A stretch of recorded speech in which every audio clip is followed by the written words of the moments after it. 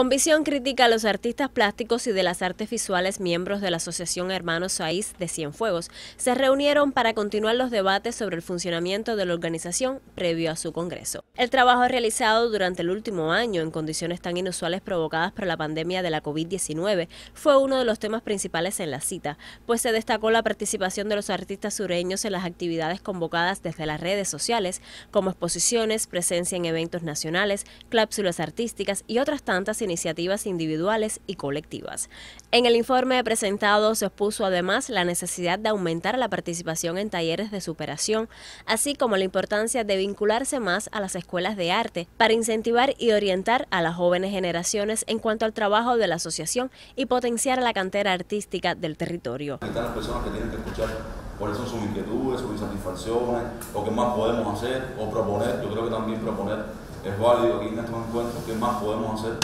cómo más podemos enriquecer el trabajo de las artes visuales en Cienfuegos, el audiovisual. Otro de los temas debatidos resultó el proceso de aprobación del registro del creador por las demoras y problemas con los expedientes de quienes aspiran a recibir esta acreditación. Asimismo, se analizó la ausencia de materiales para el desarrollo de obras y la creación de estrategias para mantener los espacios alcanzados hasta la fecha en la televisión y la radio y así crear otros proyectos que visualicen el andar de los miembros cienfuegueros.